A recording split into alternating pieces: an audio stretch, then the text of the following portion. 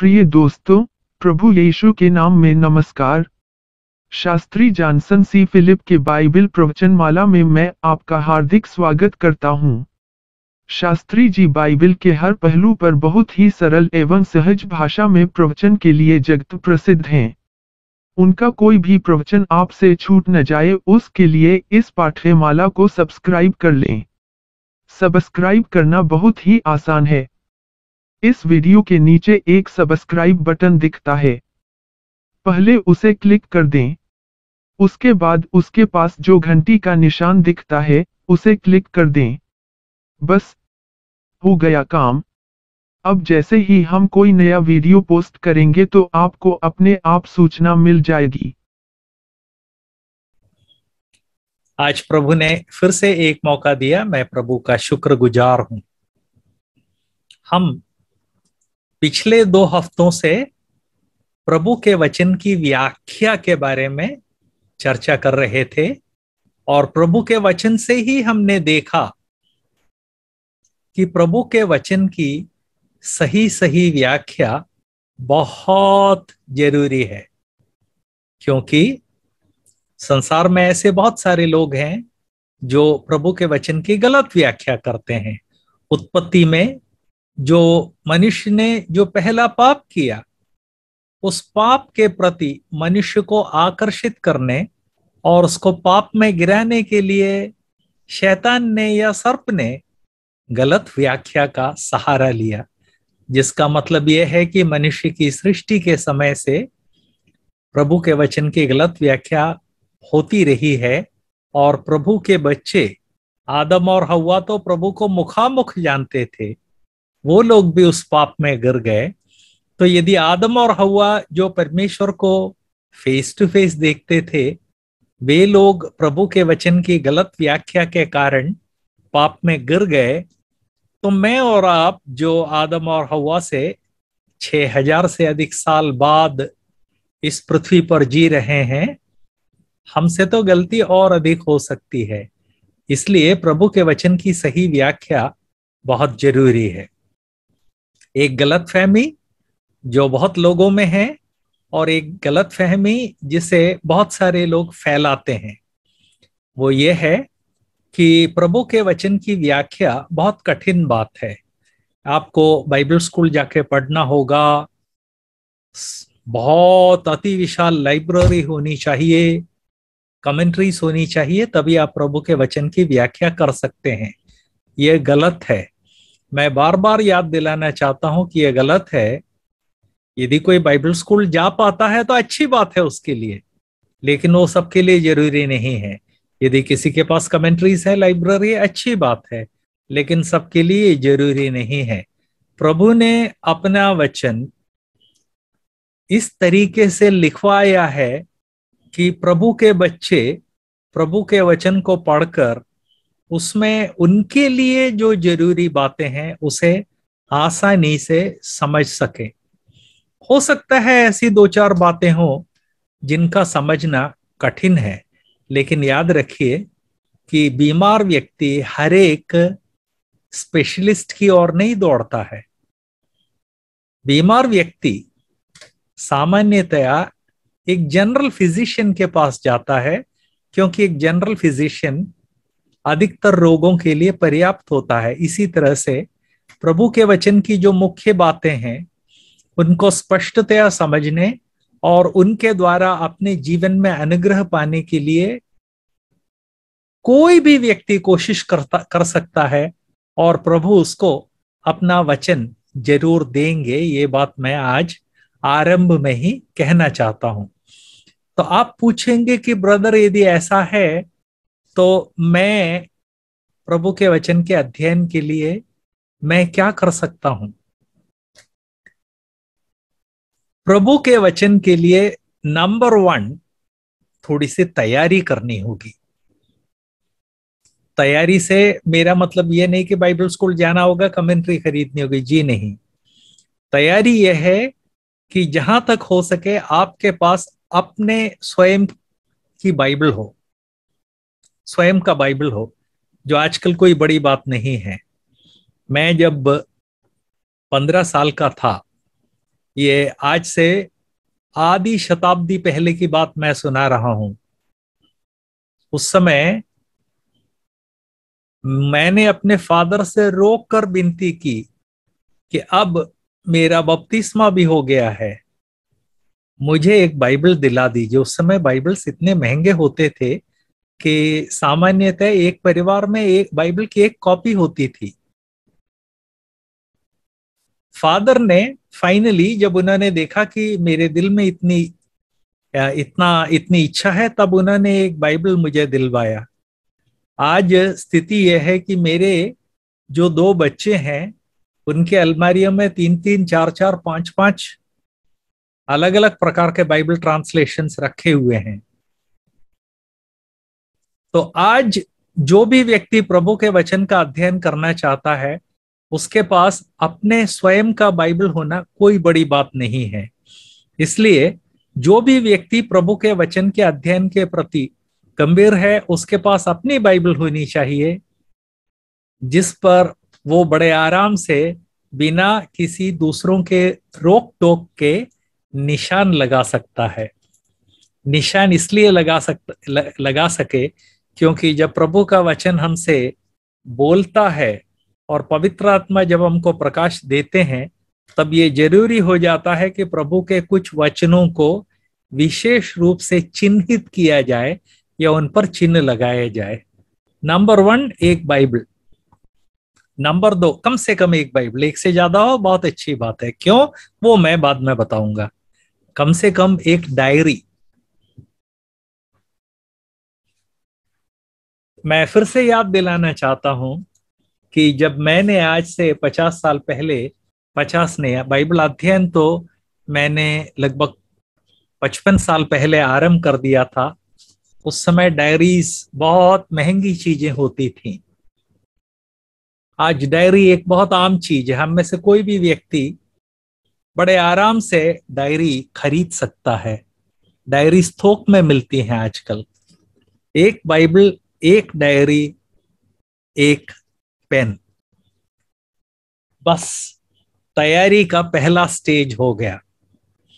दूसरा स्टेज ये है, ये प्रण कर लीजिए कि साल में कम से कम एक बार संपूर्ण बाइबल पढ़ेंगे। आप कहेंगे, आप शायद दो ऑब्जेक्शन या दो प्रश्न आपके मन में आ सकते हैं। ब्रदर बाइबल का एक पोर्शन स्टडी करना है संपूर्ण बाइबल पढ़ने की क्या ज़रूरत है? अच्छा प्रश्न है। दूसरा प्रश्न ये हो सकता है संपूर्ण बाइबल एक साल में क्या कह रहे हैं ब्रदर? कैसी अनहोनी कि आप बात कर रहे हैं? इस पू, इस पूरे ग्रंथ को साल भर में एक बार कौन पढ़ सकता है? आज जिन भाई जॉनसन ने प्रार्थना में हमारी अगुवाई की, उनको अच्छा नहीं लगेगा कि मैं बात पब्लिक में बता रहा हूँ। लेकिन भैया, यदि एक व्यक्ति ने हमारे सामने नमूना रखा है तो सबको मालूम होना चाहिए। उन्होंने साल भर में पुराने नियम को कम से कम दो बार पढ़ा और नए नियम को भी, नए नियम को शायद चार बार पढ़ा और भजन संहिता को पता नहीं कितनी बार कंप्लीट पढ़ा। एक व्यक्ति जो नौकरी शुदा है जिसके ऊपर पचास जिम्मेदारियाँ हैं। यदि वो एक साल में इतना कर सकता है तो कोई भी कर सकता है। मैं ये नहीं कह रहा कि पुराने नियम दो बार पढ़े, नए नियम चार बार पढ़े। मेरा अनुरोध यह है कि पुराने नियम एक बार पढ़े, नए नियम एक बार पढ़े, कम से कम, जो बिल्कुल संभव है। क्योंकि यदि कोई व्यक्ति प्रतिदिन पंद्रह मिनट प्रभु का वचन पढ़ता है तो साल भर में कंप्लीट बाइबल पढ़ सकेगा। ये बहुत सारे अनुसंधानों से स्पष्ट हो चुका है।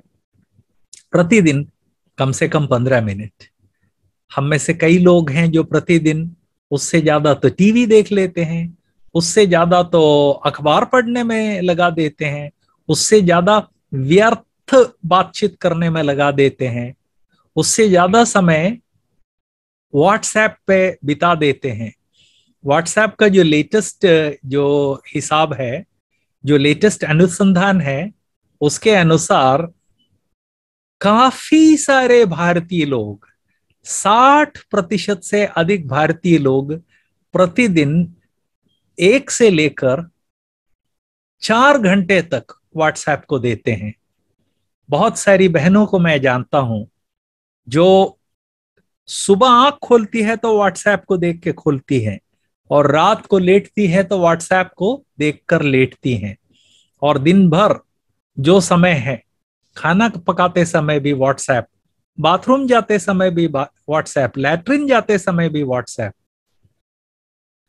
दुनिया भर का कचरा इकट्ठा करने के लिए कितना समय हम देते हैं? प्रतिदिन यदि हम पूर्ण ध्यान के साथ पंद्रह मिनट प्रभु का वचन पढ़ें, साल भर में खत्म हो जाएगा। दूसरा तरीका यह है, प्रतिदिन यदि तीन अध्याय पढ़ें और संडे के दिन पाँच अध्याय पढ़े तो संपूर्ण बाइबल समाप्त हो सकता है। आप कहेंगे, फिर भी बड़ा, ब्रदर, बड़ा बोरिंग काम है। कोई चीज़ बोरिंग है या नहीं है, वो इस पर डिपेंड करता है कि आपकी रुचि उसमें कितनी है। रुचि पर डिपेंड करता है। तो पहले रुचि होनी चाहिए, उसके बाद उत्साह आएगा और जब उत्साह आएगा, तब आप रीडिंग कर सकेंगे। तो इसलिए यदि आप में आपका जो दूसरा प्रश्न है कि, ब्रदर, साल भर में कोई कैसे पढ़ सकता है? मैं आपको बताना चाहता हूँ कि साल भर में एक से अधिक बार प्रभु का वचन पढ़ा जा सकता है। हैं हमारे बीच में कई व्यस्त लोग, जो नौकरी शुदा लोग हैं, जिन्होंने ये सिद्ध कर दिया है कि एक से अधिक बार पढ़ा जा सकता है, इसलिए साल भर में कम से कम एक बार पढ़ें। दूसरा प्रश्न जो आप पूछेंगे वो ये है कि, ब्रदर, इसकी क्या ज़रूरत है? बिल्कुल सही बात है। मान लीजिए कि आप एक टैक्सी ड्राइवर हैं।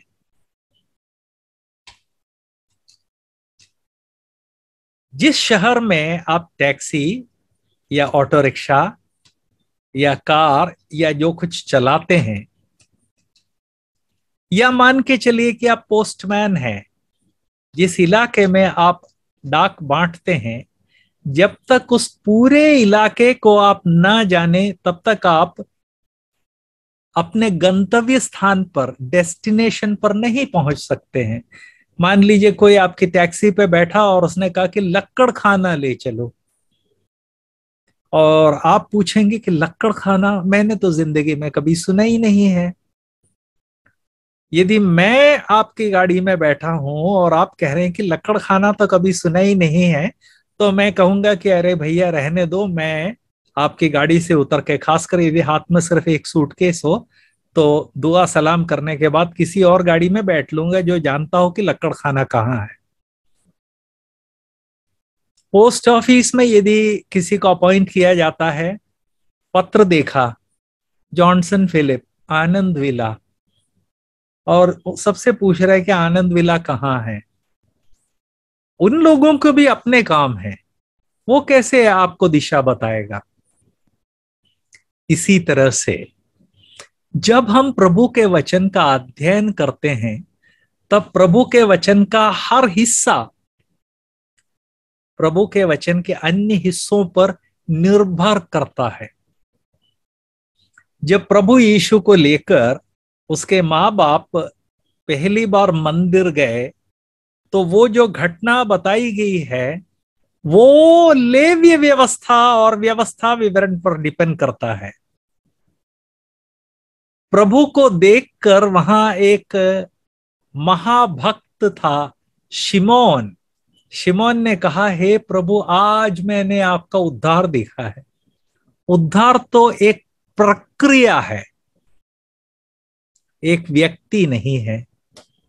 तो क्यों शिमोन ने कहा कि आज मैंने आपका उद्धार देखा? उसको यदि सही सही समझना है, पुराना नियम स्टडी करना पड़ेगा।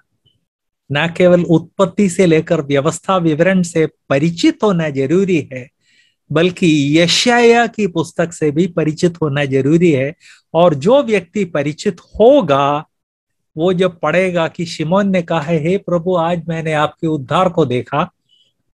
तुरंत वो समझ जाएगा कि इसका मतलब क्या है। इसके लिए किसी बाइबल स्कूल जाने की ज़रूरत, इसके लिए किसी कमेंट्री की ज़रूरत नहीं है। प्रभु के वचन से यदि आपका परिचय हो तो प्रभु के वचन में बहुत सारी बातें जो कही गई हैं, वो आप आराम से समझ सकेंगे। इतना ही नहीं जब प्रभु के वचन की हम व्याख्या करते हैं, तब प्रभु के वचन से हमारा जितना परिचय होगा, प्रभु के वचन को समझना उतना ही आसान हो जाएगा। इन बातों को मन में रखकर, ये तो तैयारी हो गई। तैयारी के लिए डायरी बाइबल, डायरी, पेंसिल वगैरह ले लीजिए और उसके साथ साथ बाइबल को शुरू से लेकर आखिर तक पढ़ने का ठान लीजिए। इतनी तैयारी के बाद हम प्रभु के वचन की स्टडी पर उतर आते हैं। कुछ समय के बाद मैं आपको बताऊँगा कि मुझ जैसा और गंभीर विद्यार्थी डायरी के अलावा क्या क्या यूज़ करता है। दो चार और चीज़ें हैं जो हमारी मदद कर सकती हैं, लेकिन मैं एक बात बता दूँ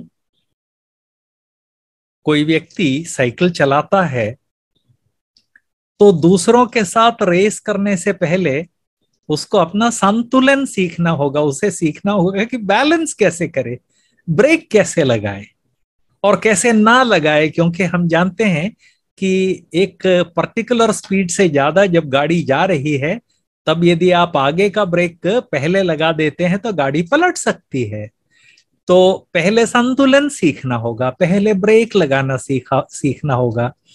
उसके बाद गाड़ी को आप तेज़ी से चला सकते हैं और जब तेज़ी से चलाना सीख लेंगे, उसके बाद किसी के साथ रेस लगा सकते इसी तरह से प्रभु के वचन के अध्ययन के लिए मैं जो मेथड्स यूज़ करता हूँ, जब उनको भी बताऊँगा तो उसके पहले लेकिन जो इंट्रोडक्शन है, वो ज़रूरी है। तो अब प्रभु के वचन के अध्ययन के लिए जब सारी तैयारी कर कर चुके तो प्रभु के वचन के, की व्याख्या के लिए तीन मोटे नियम हैं। इसमें से पहला नियम यह है कि किसी भी विषय के अध्ययन के लिए उस विषय पर प्रभु का वचन जो कहता है वो सब देखो। सिर्फ़ एक पद के आधार पर कोई निर्णय ना लो। आप कहेंगे, ब्रदर यह तो बड़ी कठिन बात है। जी, बिल्कुल कठिन बात है। कठिन उसके लिए है जो मेहनत करने को तैयार नहीं है। प्रभु के वचन में हम देखते हैं, आलसी कहता है कि रास्ते में शेर है। रास्ते में तमाम भीड़ चल रही, उनको कोई शेर नहीं दिख रहा है। आलसी कहता है कि, भैया, शेर है, इसलिए मैं नहीं जाऊँगा। उसी तरह से जो प्रभु के वचन को आदि से लेकर अंत तक पढ़ने के लिए ही तैयार नहीं है, उसके लिए तो सब कुछ कठिन होगा। लेकिन जो व्यक्ति आदि से लेकर अंत तक प्रभु के वचन को नियमित रूप से पढ़ने के लिए तैयार है, उसके लिए प्रभु के अध्ययन वचन का अध्ययन कठिन नहीं है, क्योंकि जैसे ही कोई, मान लीजिए, उद्धार से संबंधित कोई पद आता है, यदि वो उसको डायरी में नोट कर लेता है तो आगे फिर से उद्धार के बारे में जो आएगा उसको भी यहाँ नोट करता चला जाएगा। तो उद्धार के बारे में, प्रभु के वचन में जो कुछ कहा गया है, वो सब उसकी जानकारी में आ जाएगा। तो इसलिए पहला सिद्धांत यह है, या पहला नियम, सही कहा जाए तो प्रभु के वचन की व्याख्या के लिए पहला नियम यह है कि किसी भी विषय का अध्ययन करें तो उस विषय के बारे में प्रभु के वचन में हर जगह जो कुछ कहा गया है, उन सब का अध्ययन करें। और अब तो ये बहुत आसान हो गया है, लेकिन उसके बारे में बताने से पहले प्रभु के वचन से ही मैं एक उदाहरण आपके सामने रखना चाहता हूँ। प्रेरितों के काम एक्स ऑफ़ द अपोसल्स प्रेरितों के काम, सत्रहवा अध्याय। प्रेरितों के काम सत्रहवें अध्याय में हम प्रभु के दासों के बारे में देखते हैं। खासकर पौलुस के बारे में कि सबत के दिन यहूदियों के आराधनालय में जाकर प्रभु का वचन पढ़कर उनसे प्रभु के वचन के बारे में बताने लगे। वहाँ बड़ा ऊधम हुआ, नाटक हुआ और उन्होंने क्या किया कि वहाँ जो भाई लोग थे, उन्होंने कहा कि तुम लोगों का जीवन खतरे से खाली नहीं है, तुम लोग यहाँ से किसी और शहर चले जाओ। दसवें पद में हम देखते हैं, जब ये नाटक हुआ प्रेरितों सत्रह का दस, भाइयों ने तुरंत रात ही रात पौलुस और सीलास को बिरिया में भेज दिया।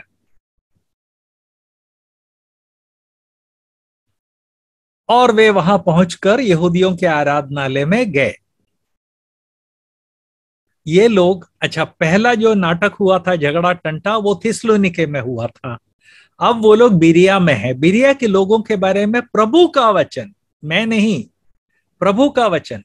पवित्र आत्मा कहते हैं, ये लोग थिस्लुनिके के यहूदियों से भले थे। हिंदी में भला सुन के कुछ क्लियर नहीं होता है। मूल भाषा का कहना है कि ये लोग यहूदियों से थिस्लुनिकी के यहूदियों से श्रेष्ठ थे। और उन्होंने बड़ी लालसा से वचन ग्रहण किया, जो पौलुस उनको बताते थे। खत्म नहीं हुआ। और प्रतिदिन पवित्र शास्त्रों में ढूंढते रहे कि बातें यो है कि नहीं। बरिया के यहूदियों को जब प्रभु का वचन सुनाया गया, तब बेरिया के जो यहूदी थे, वे थिस्लुनिके के यहूदियों से ज़्यादा श्रेष्ठ इसलिए थे कि वे जानते थे कि कोई भी बात सुनो।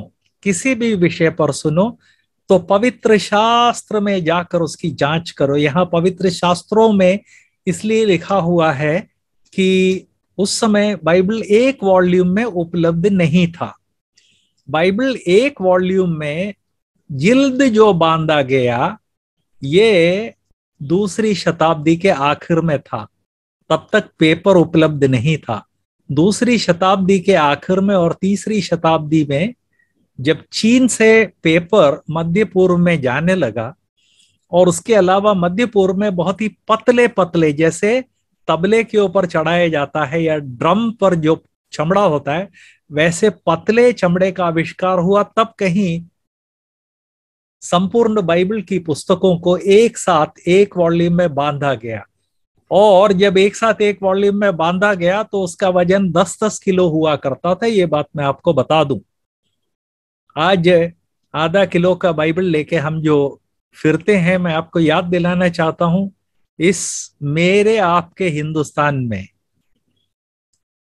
आज से पचास साल पहले हिंदी, मराठी, उर्दू या अन्य भारतीय भाषाओं में बाइबल का वज़न दो ढाई किलो हुआ करता था। आप में से कई को याद होगा, वो बाइबल आपने अपने घर में देखे होंगे। मेरे परदादा जी के समय, ये आज से 120 साल पहले की बात बता रहा हूँ, मैंने देखा है अपने परदादा को। परदादा जी के समय में बाइबल इतने भारी होते थे कि वो लोग बाइबल को एक कपड़े में बाँध के, कंधे पर रख के घर से चर्च ले जाते थे। इस तरह से कंधे पर रख के, एक हाथ उसके ऊपर रख के वो लोग सड़क पर चलते थे और जब वज़न से थक जाते थे तो उस कंधे से उठा के अगले कंधे पे रख दे, रखते थे। इस तरह से घर से, चर्च और चर्च से घर बाइबल ले जाते थे। तो आज से सौ साल पहले ये स्थिति थी। तो मैं याद दिलाना चाहता हूँ, आज 200 ईस्वी में जब पहली बार बाइबल की की छियासठ पुस्तकें एक साथ जिल्दों में, जिल्द में बांधी गई, तब 10-15 किलो हुआ करता था। लेकिन पहली शताब्दी में जहाँ ये बेरिया के विश्वासी लोग थे, वहाँ पर बाइबल को एक जिल्द में बांधा नहीं जा सकता था, क्योंकि वो मोटे चमड़े पर लिखा जाता था। और उत्पत्ति से लेकर लेव्य व्यवस्था का वज़न, वो चमड़े की टाट पट्टी का वज़न, वही पचास किलो के करीब हुआ करता था। तो संपूर्ण बाइबल को तो आप एक जिल्द में बाँध ही नहीं सकते हैं। इसलिए यहाँ लिखा है कि पवित्र शास्त्रों में, क्योंकि ये जो पुराने नियम की उनतालीस किताबें हैं, ये पाँच या छह बड़ी बड़ी पतंग के पतंग का धागा जैसे चरखियों पर बांधा जाता है, इस तरह से भारी भरकम चरखियों पर बाँध कर रखा जाता था। इसलिए उनको बहुवचन में कहा जाता था। तो पहले एक में देखा फिर दूसरे में देखा फिर तीसरे में देखा इस तरह से देखते थे। लेकिन ये इनका पवित्र आत्मा इन्होंने जो कार्य किया पवित्र आत्मा ने उसका जो अनुमोदन यहाँ पर प्रेरितों के काम सत्रहवें अध्याय के दस और ग्यारह पद में किया है खासकर ग्यारह में अनु, जो अनुमोदन किया है ये हमें ये बात बताता है कि जब प्रभु के वचन से कोई एक विषय हम सुनते हैं तो बाइबल की सभी पुस्तकों में जाँच कर देखें कि ये बातें ऐसी ही हैं या नहीं है। बेरिया के विश्वासियों के पास पुराने नियम की उनतालीस पुस्तकें थी। आज हमारे पास बाइबल चूँकि एडी सत्तर के आसपास, ईसवी सत्तर के आसपास बाइबल की आखिरी पुस्तक की रचना हो गई थी। इस कारण एडी या ईसवी सत्तर के बाद पुस्तकों की संख्या छियासठ हो गई है।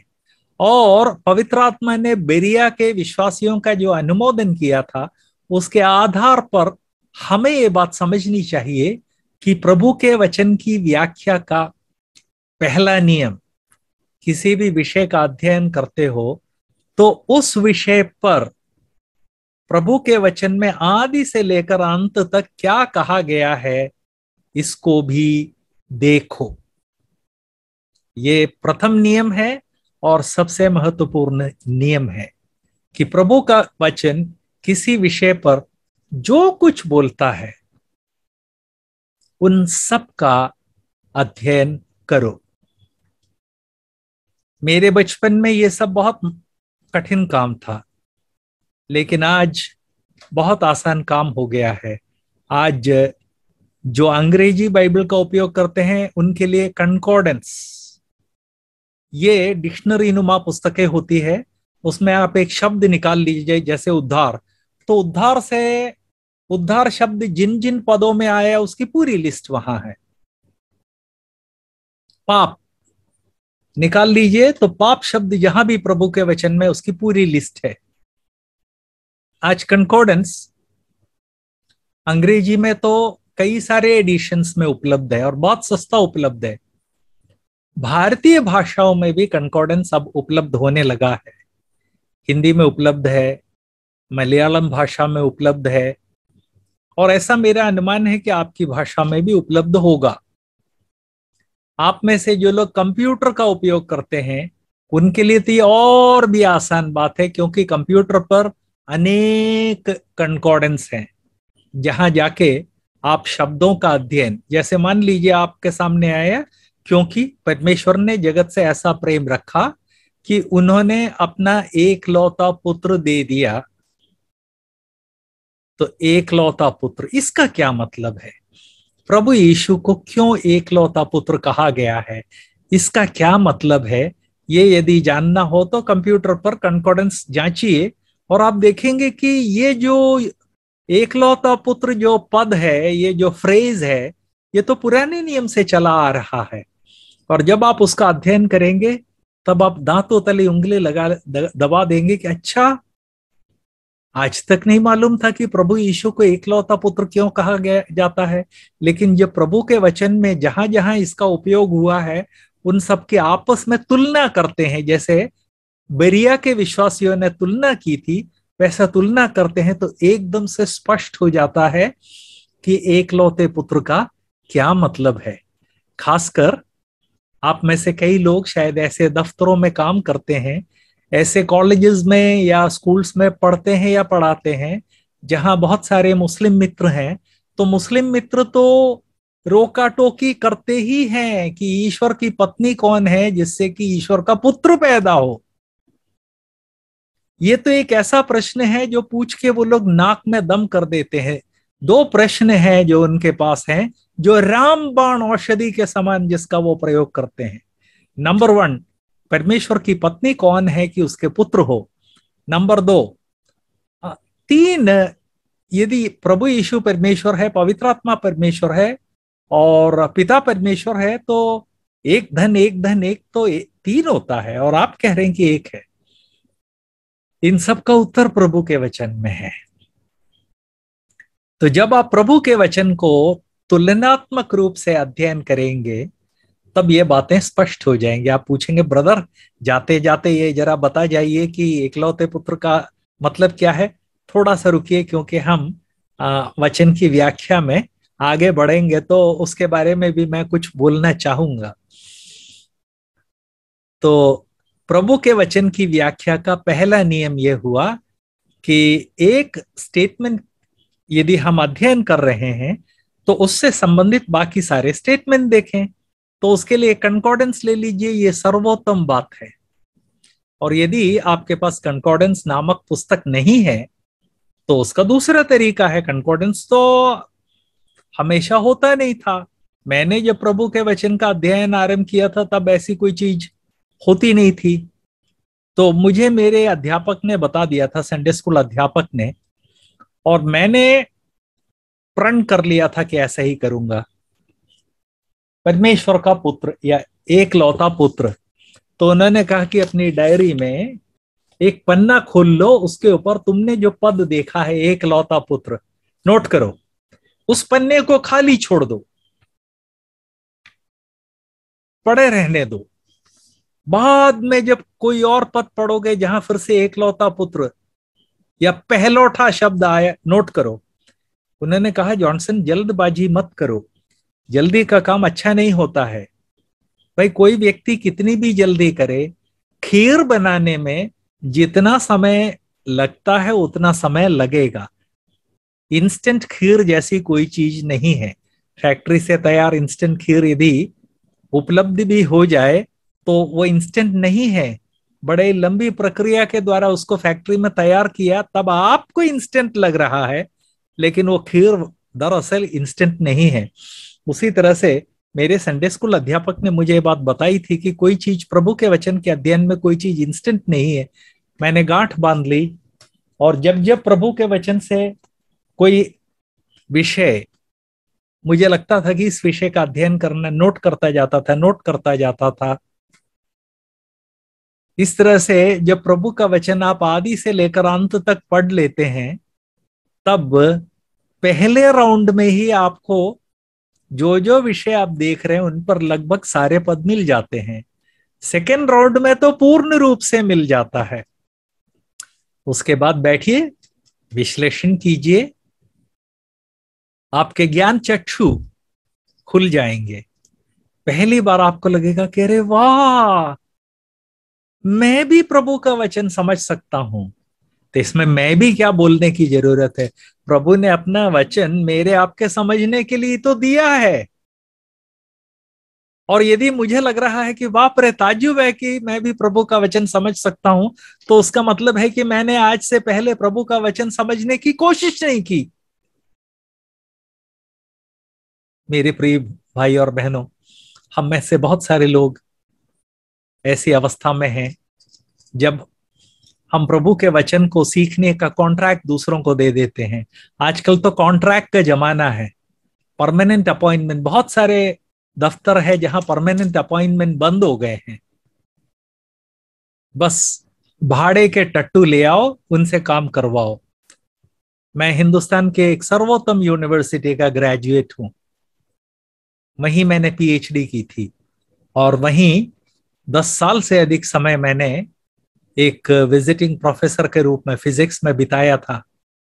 आज स्थिति यह है कि जहाँ आठ आठ दस दस लेक्चरार हुआ करते थे, वहाँ दो बचे हैं। और वो दो भी अगले साल रिटायर हो जाएँगे। और नया फुल टाइम स्टाफ नहीं अपॉइंट हो रहा है। सारा का सारा काम भाड़े पर लोगों को लेकर किया जा रहा है, क्योंकि भाड़े पर लोगों को लेकर काम करवाना सस्ता पड़ता है। उसके लिए अंग्रेज़ी में एक बहुत बड़ा प्रिय वाक्य है कॉन्ट्रैक्ट मैं याद दिलाना चाहता हूँ, मेरे भाइयों और बहनों, आत्मिक जीवन जो है वो कॉन्ट्रैक्ट पे नहीं दिया जा सकता। मेरा आपका जो आत्मिक जीवन है वो मुझे और आपको स्वयं जीना होगा। और इस कारण प्रभु के वचन को सिखाने का काम यदि हम सब कॉन्ट्रैक्टर को दे देते हैं तो काम नहीं होगा। ये बात मैं याद दिलाना चाहता हूँ। मुझे याद है जब मैं एमएससी में पढ़ता था तब हमारी यूनिवर्सिटी जिस अति विशाल एरिया में बनी हुई यूनिवर्सिटी है, पचासों एकड़ ज़मीन है, उन्होंने एक बार एक कॉन्ट्रैक्टर को पेड़ लगाने की ज़िम्मेदारी दी। एक ने कहा, प्रति पेड़ मैं आज से चालीस साल पहले की बात कर रहा हूँ। चालीस नहीं, आज से पैंतालीस साल पहले की बात कर रहा हूँ। तो उस समय के हिसाब से पैसा हिसाब लगाएँ। एक ने कहा कि पाँच सौ रुपए से कम नहीं, पाँच सौ रुपए लगेंगे। मतलब आज के हिसाब से पाँच हज़ार रुपए लगेंगे। मैं पेड़ लगा दूँगा और पूरी ज़िम्मेदारी लेता हूँ कि पेड़ यदि सूख जाएगा तो उसको बदल दूँगा। और जब तक पेड़ अपने स्वयं पर निर्भर होने, ना होने पाए, तब तक मैं पेड़ की रखवाली करूँगा। कई कॉन्ट्रैक्टर थे, उसमें से एक ने कहा कि मैं पचास रुपए में लगा दूँगा। पेड़ कहाँ सूखते हैं?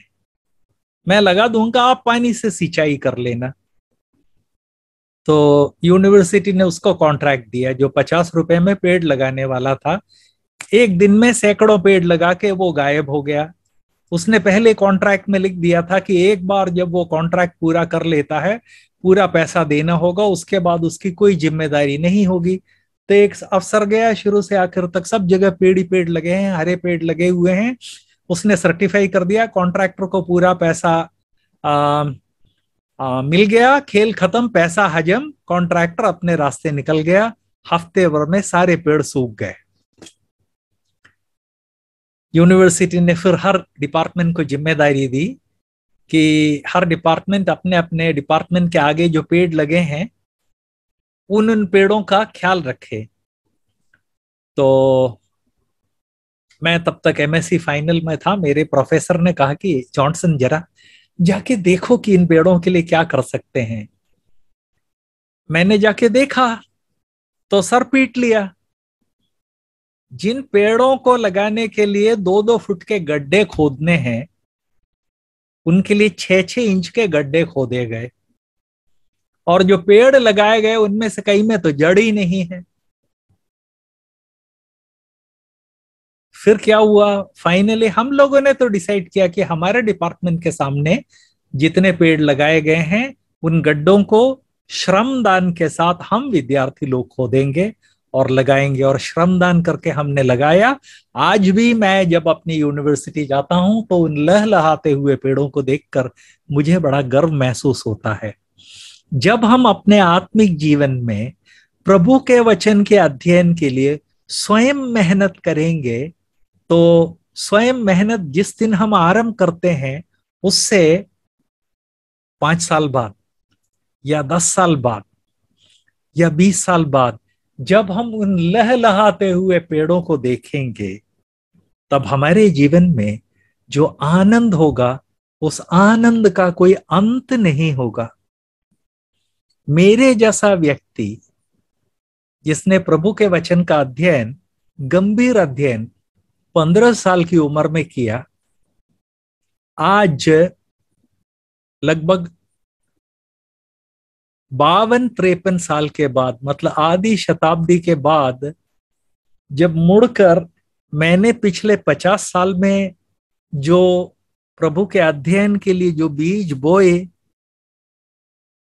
प्रभु से जो फल मिला, उसको मुड़कर देखता हूँ तो यकीन नहीं होता है कि हे प्रभु, इस आधे, आधी शताब्दी में इतना अध्ययन के लिए आपने मेरी मदद की। जी हाँ प्रभु ने मदद की।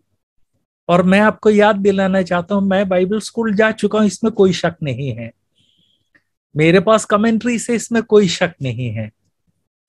लेकिन आज भी मैं जब क्लासेस के लिए तैयारी करता हूँ, तब पहले कमेंट्री नहीं खोलता, पहले कंप्यूटर पर नहीं जाता।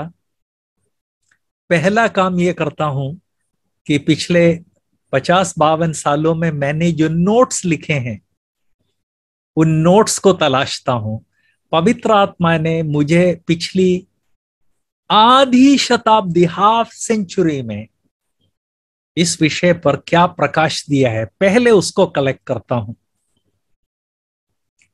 उसके बाद अन्य चीज़ों को देखता हूँ।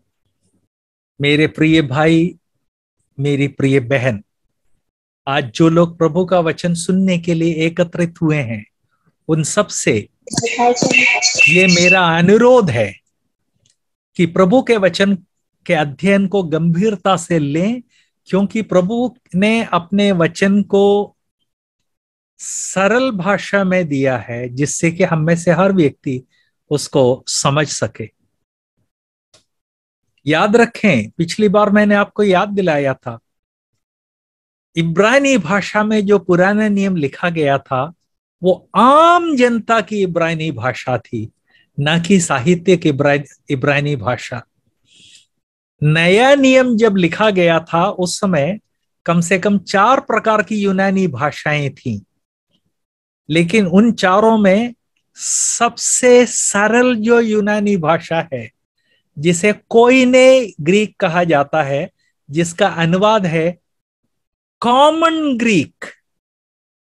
आम आदमी का ग्रीक, प्रभु ने, सर्वेश्वर ने अपना वचन मनुष्य को देने के लिए आम जनता की भाषा का उपयोग किया, क्योंकि प्रभु चाहते हैं कि आम जनता प्रभु के वचन को समझे। और इसीलिए प्रभु ने अपने वचन को आम जनता की भाषा में दिया, और आज 21वीं शताब्दी में भारत की सभी मुख्य भाषाओं में उपलब्ध है। एक से अधिक अनुवाद उपलब्ध है। मोबाइल पर उपलब्ध है, कंप्यूटर पर उपलब्ध है, सवाल उपलब्धि का नहीं है, सवाल इच्छा का है।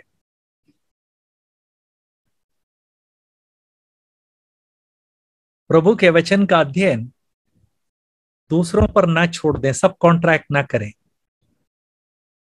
हाँ हर मंडली के लिए ये ज़रूरी है कि कुछ लोगों को बाहर से बुलाया जाए। उसके पीछे कारण है। कुछ लोगों ने कुछ विषयों में विशेष अध्ययन किया है और हो सकता है मंडली में कोई व्यक्ति उस विषय में उतनी गहरी पहुँच नहीं रखता है। ये बात अलग है। लेकिन आजकल स्थिति यह है कि बहुत सारे ब्रदरन असेंबलीज में संडे के दिन देख लेते हैं कि कौन कौन आया है। और कहीं से कोई ऐरा गहरा नथु गहरा यदि चर्च में मौजूद है तो जाके उसका गला दाब देते हैं कि भैया आज आपको संदेश देना है। मैं चूँकि एक ट्रैवलिंग प्रीचर हूँ तो सब जगह देखता हूँ। कोई भी व्यक्ति चर्च में विजिटर के रूप में आ गया तो उसको गला दाब के आगे ले आते हैं कि आज संदेश आपको देना है। यह है सब कॉन्ट्रैक्टिंग